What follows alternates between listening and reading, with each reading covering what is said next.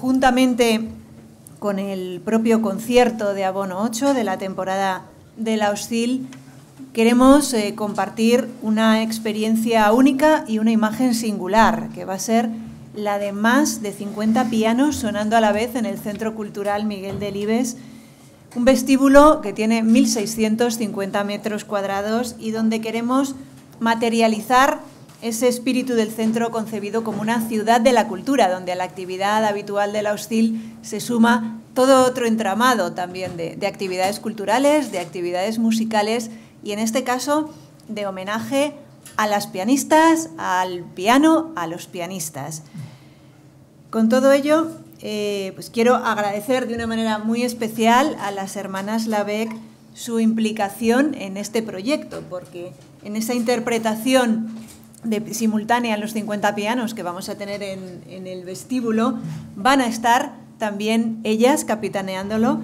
Por otra parte, quiero agradecer a David Robledano, el senior manager de Yamaha Music Europe,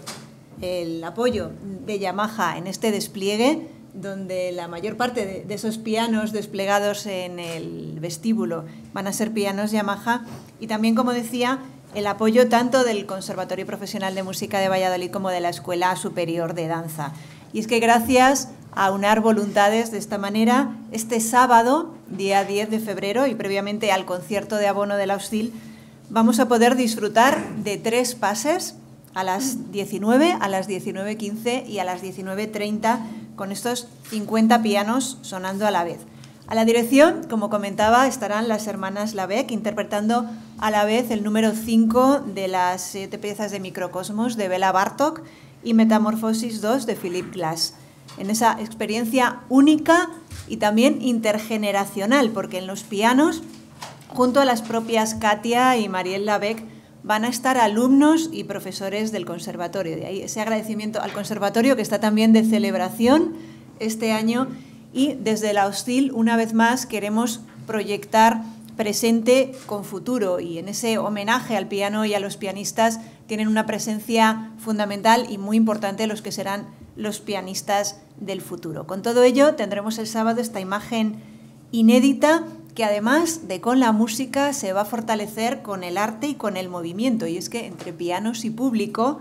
van a estar estudiantes de baile contemporáneo de la Escuela Superior de Danza de Castilla y León en una performance y lo que será una experiencia global de música y danza. Y aquí, pues de nuevo, de nuevo contamos con la colaboración de la Fundación Universidades, que siempre es tan fructífera como positiva.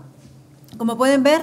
un evento ligado al concierto de abono de la Hostil, un evento singular que conjuga compromiso artístico y compromiso educativo con el elemento experiencial del que esperamos disfruten tanto los abonados y el público habitual de la Orquesta Sinfónica de Castilla y León, como también aquellas otras muchas personas, por supuesto de todas las edades, que podrán acercarse con antelación al concierto al Miguel Delibes el sábado.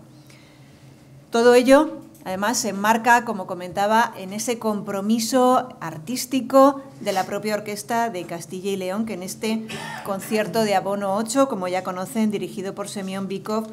va a registrar de nuevo una importante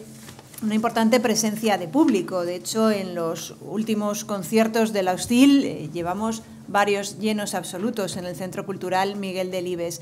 Y esa respuesta del público entronca y motiva eh, sin duda alguna, la calidad artística de la orquesta y también la calidad, como en este caso, de los solistas internacionales que nos acompañan. En este caso, el director Semyon Bikov y las solistas eh, ya habituales también en la casa, aunque ahora decía que hacía bastante tiempo que no habían estado por aquí, pero estamos encantados de su regreso de las hermanas Lavec.